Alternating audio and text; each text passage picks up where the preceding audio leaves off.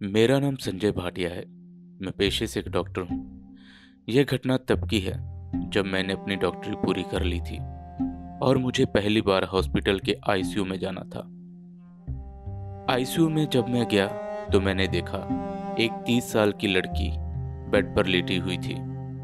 उस लड़की का कार एक्सीडेंट हुआ था और पिछले तीन दिन से वेंटिलेटर पर थी, जो मरीज़ कोमा में चला जाता है जहाँ जिनका दिल काम करना बंद कर देता है, उन्हें वेंटिलेटर पर रखा जाता है। इस लड़की के बचने की बिल्कुल उम्मीद नहीं थी और आखिर के तीन दिन वेंटिलेटर पर रखने के बाद लड़की को वेंटिलेटर से हटाना था, ताकि उसे मृतक घोषित किया जा सके।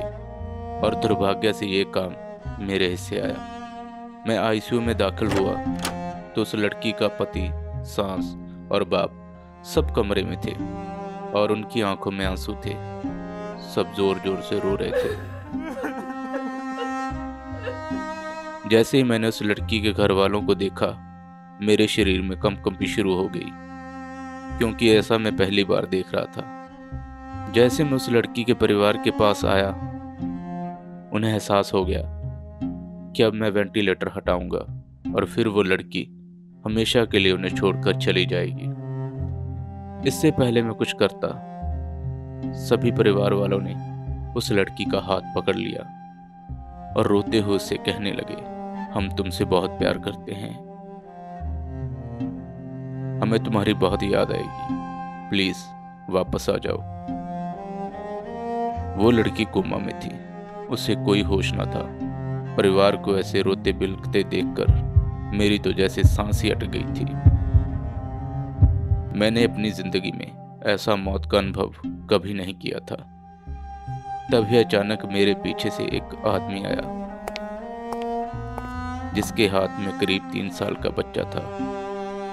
बच्चा हंस रहा था और आपको ये जानकर हैरानी होगी, वो बच्चा इसी लड़की का था। ऐसा लग रहा था कि बच्चा अपनी माँ को कई दिनों के बाद देख रहा है और इसलिए वो खुश था। लेकिन उसे इस बात की खबर नहीं थी कि उसकी माँ अब इस दुनिया से जाने वाली है। ये सब कुछ मैं देख न पाया और फ़ौरन आईसीयू के बाहर आ गया। उस दिन पहली बार ये सब देखकर मेरे आँसू निकल गए। मेरे साथ के डॉक्टर ने मुझे समझाया कि डॉक्टरी में सख्त दिल रखना पड़ता है, वरना ये नौकरी करनी बहुत मुश्किल हो जाएगी। मैंने जैसे तैसे खुद को संभाला और उस परिवार के पास गया और भरे मन से उन्हें कहा कि अब वेंटिलेटर हटाने का वक्त आ गया। जैसे ही मैंने वेंटिलेटर उस लड़की के मुँह से हटाया, कुछ क्षणों में ही उस लड़की की मौत हो गई।